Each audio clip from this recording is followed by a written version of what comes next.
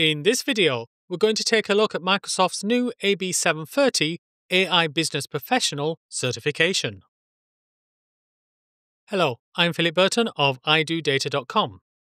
So, Microsoft have released four new certifications starting AB, and the AB730 is the AI Business Professional.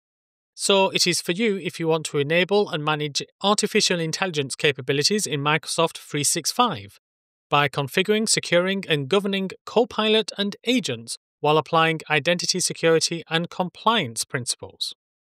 So, if I scroll down, you can see that this is for you if you've got experience using generative AI productivity tools, including Microsoft 365 Copilot Researcher and Analyst, which are two of the agents within Microsoft 365 Copilot. So, this is for you if you are a business professional who wants to apply AI tools to real business challenges. So it could be marketing, operations, project management, human resources, customer services, or more. So you'll need to have a basic understanding of Microsoft 365 and be familiar with Outlook, Word, Teams, PowerPoint, and Excel. However, a high degree of knowledge of all of these applications is not actually needed it basically revolves around Microsoft 365 Copilot. So, this could be for you if you use generative AI tools such as Microsoft Copilot to draft emails, summarize documents, create presentations, or generate creative content like images or text. And if you don't know how to do that and want to do that, then preparing for this exam is also great for you. Now, what do you need to know? Well, let's click on the AB730 study guide. And you can see that we have got three basic skills understand Gen AI or generative AI fundamentals, manage prompts and conversations by using AI, and draft and analyze business content by using AI. So, within the first of these skills, it is broken down into understand Gen AI capabilities across various Microsoft 365 experiences, so, how Copilot works, why the context is important, what's the difference between a chat and an agent. But there's also this understand the differences in features and capabilities of the Copilot experience in various Microsoft 365 apps. So, it's just a single bullet point, but that basically means what can Copilot do for you in Word, in Excel, in PowerPoint, in Outlook, and in Teams. So there's a lot of knowledge that you need to have under this one bullet point. Also, in this section is identify responsible AI and data protection practices. For example, what are fabrications, prompt injection, and over reliance, and how can you overcome it? What can you do to protect sensitive data, and more? Under Manage Prompts and Conversations by using AI, you need to know how to create and manage prompts, such as saving, scheduling, and sharing, know how to write an effective prompt.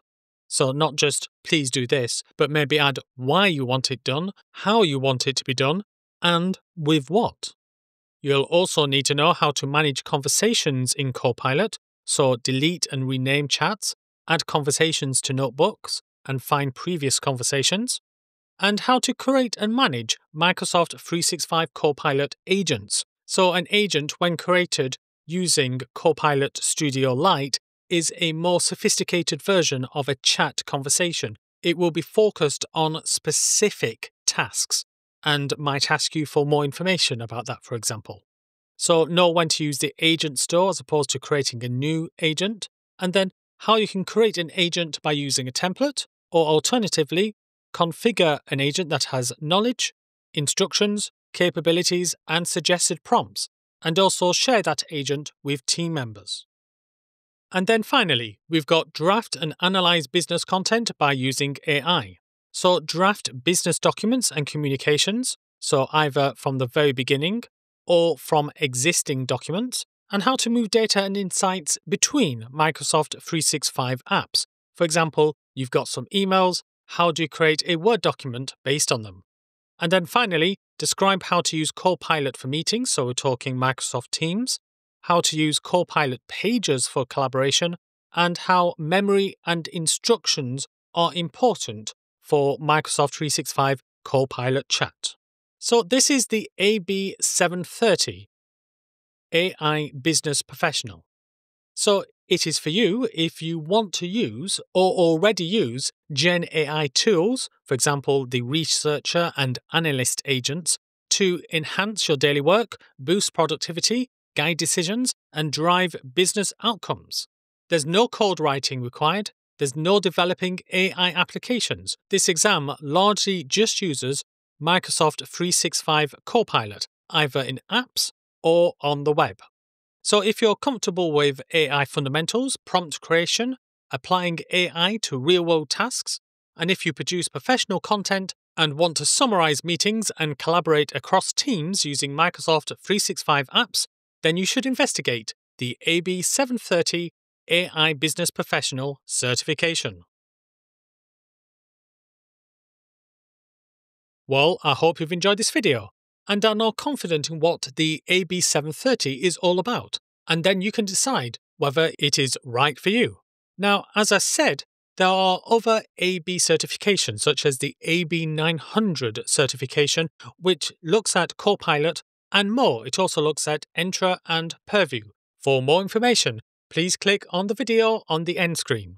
I hope you enjoyed this video. If you did, then why not give it a like? And then please subscribe and ring that bell that way, you'll be notified of any new videos, including an upcoming video I've got about the AB731 certification. Are you interested in the AB730? If so, why not let me know in the comments to this video?